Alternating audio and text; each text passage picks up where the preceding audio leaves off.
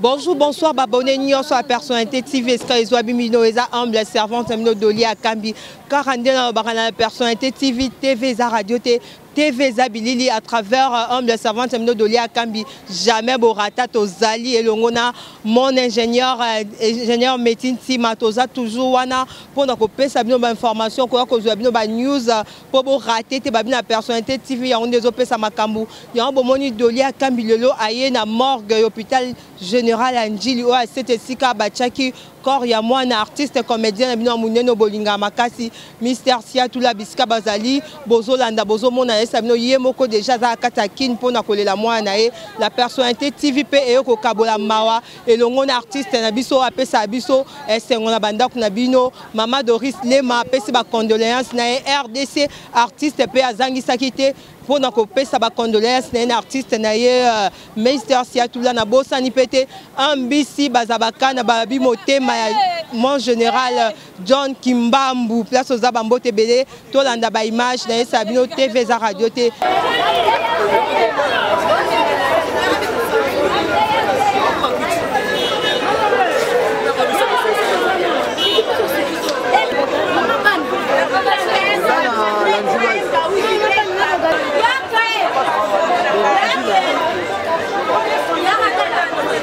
nde naloba na personnalité tv tv eza radio te tv eza Bilili bozo mona nga deja naza wana na morgue esika ba tiaki corps ya mwana artiste comedien bino bolinga mingi papa siatula bomoni nga toujours naza pembe na famille na yoko kabona na bango mawa bozo mona vraiment mawa eza kobungisa mwana mwasi ya mukolo boye mama wata mwa liloba qu'est-ce qui s'est passé mwana belaki to ezalaki ndenge nini mwana belaki te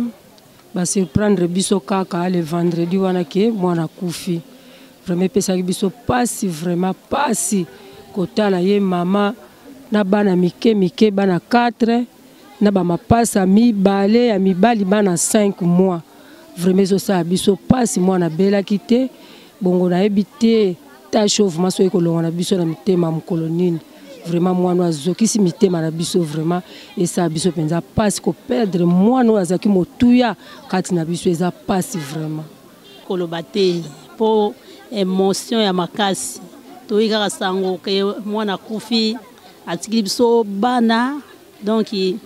toza kaka na mingi ya koloba te nzambe azwa kaka molimo ya mwana akende kopema na kimia oyo nyonso nalingi kolobaka nde yango wana nasukisi na kaka bongo oza émotionné euh, okoki koyebisa biso qu'est ce qui s'est passé kobungisa mwana mokolo boye nini yango elekaki mpo na mwana oyo azali su nakoka te nakoloba te nakokoka te s'il te plaît nakokoka te ok bozomona kaka émotion eza makasi toke lisusu epa mama soki aza na liloba mpo bomoni mama mpe akoki oloba te eza émotion makasi kobungisa mwana mokolo boye ye bongo nga nde nakoki koloba eh, naloba otu nini oyo koyela hmm. kaka nakoloba nini nakoloba kaka ke Eh, eza mpasi moya koloba kutu eza te mais akoloba kaka ke mibali bayebaka kosuporte basi na bango bayebaka kozwa basi ya donc bazwaka basi lokola baninga na bango mobali soki akoma mona mwasi lokola enemi na ye eza malamu te tala biso lokola ndenge tokuti toperdre mwana kaka ba souci ya pam souci souci ya mobali mobali akipaka mwasi te alobisaka mwasi te aliaka biloko ya mwasi te pandake mwasi awuti kobota aza na bana babebe mapasa mibale momo bazomelisa na basusi ya, ya mobali nyonso to wana ye komema mwana na liwa apene atiki bana ma mapasa ya 5 mois hein? mobali mpe tobenga mpe paster bapaster ba pasteur identité na bino bozo tiango wapi lelo to perdre mwana likolo ya pasteur soki topesaki mwana epai ya, ya, ya, ya, ya incrédule peut-être tolingaki to comprendre mais pasteur ah eza mpasi nasuki wana continue mpo bandeko mosusu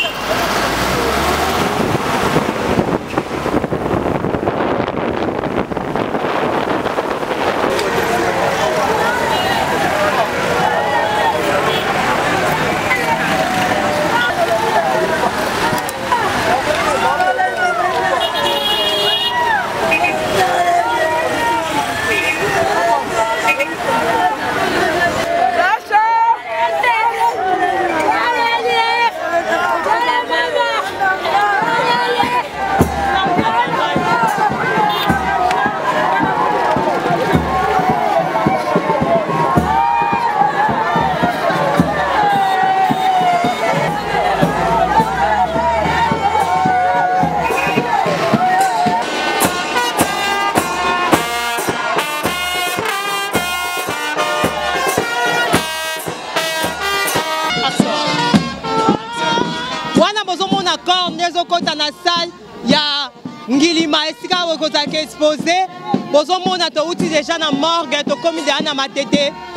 bozomona nde bamemi ebembe mpo na yo kota na salo ekozala expose nayesaka bino na personnalité tv tv eza radio te tv eza bileli bozala toujours connecte na personnalité tv bokorate eloko moko te la personnalité tv eyoko kabola mawa na artiste na bino comedien oyo bolingaka mingi mister siatula oyo abungisi mwana ya mwasi bozomona vraiment nde bato bazolela bato baza inconsolable parce que eza mpasi kobungisa mwana ya age oyo atika lisusu bana bozomona kaka nde bato bazolela emotion eza makasi bato bazokoka kosupporte te kobungisa eza mpasi kobungisa mwana age oyo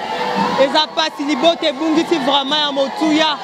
bato bazokoka kose maintenir te bozomona nayesa bino tv eza radio te tv eza bilili famille eza kolela bamosusu bazokoka te bazokwea bevanui ezosala mpasi bozomona ekor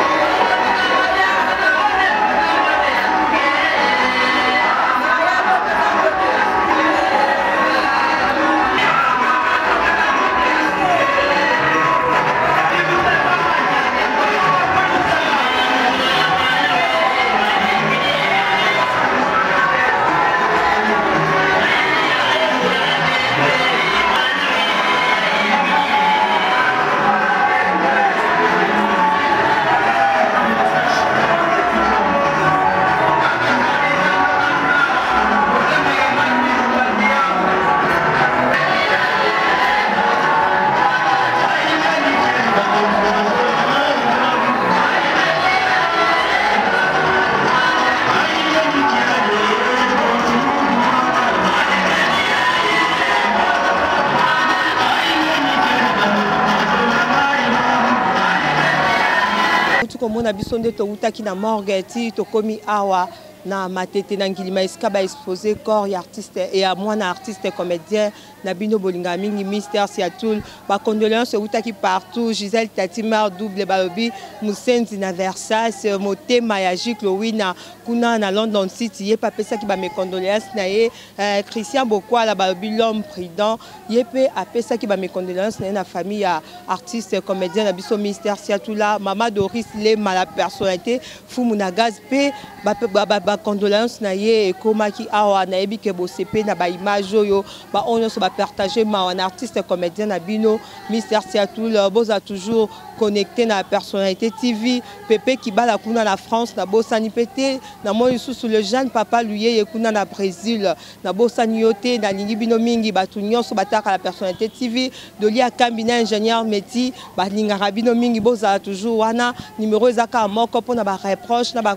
conseil na bino massivement na la personnalité TV. Napesi merci na RDC artiste place oza bambote ebele tomonani na prochain numero lobi komona deuxième jour nde enterrement ekoleka bozala toujours connecté na personnalité TV bozala detite bye.